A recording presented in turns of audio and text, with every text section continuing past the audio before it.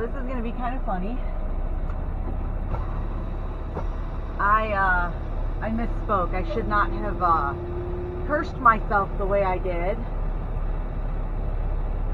Because here I thought I was going to be getting one of these nice, easy docks that I saw when I first pulled in.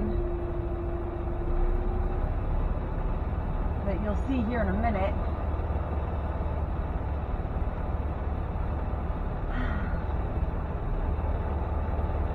No, I couldn't be that lucky to have one of those nice docks that are dry and there's no issues. No, instead I get to go over here. Let me see if I can turn my camera. And you can see I get to do a blind side and this trucker's in my way. I don't know if he's going to move or not. Anyways, knee deep in water.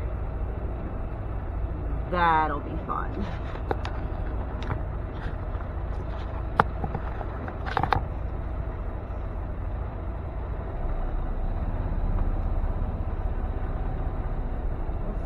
Oh, my camera is not working.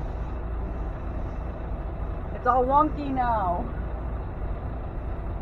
I don't know if this driver even realizes that he's kind of in my way. I don't think I'm going to be able to do this unless he moves.